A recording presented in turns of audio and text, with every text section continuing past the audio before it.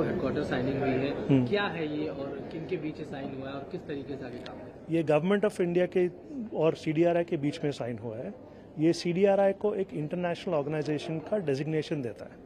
उसका मतलब ये हुआ कि अब सीडीआरआई को जब दुनिया बाहर से देखती है वो सिर्फ़ एक इंडियन गवर्नमेंट की ऑर्गेनाइजेशन नहीं देखती है। वो देखती है कि ये ग्लोबल ऑर्गेनाइजेशन है। तो ग्लोबल ऑर्गेनाइजेशन जैसे आपके हो गए एफ़ करके है रोम में आपके हो गए वर्ल्ड बैंक हो गए यूएन सिस्टम हो गए, ये उस तरह के इनको प्रिविलेजेस मिलते हैं स्पेशल कि ये बाकी दुनिया में आराम से काम कर सके।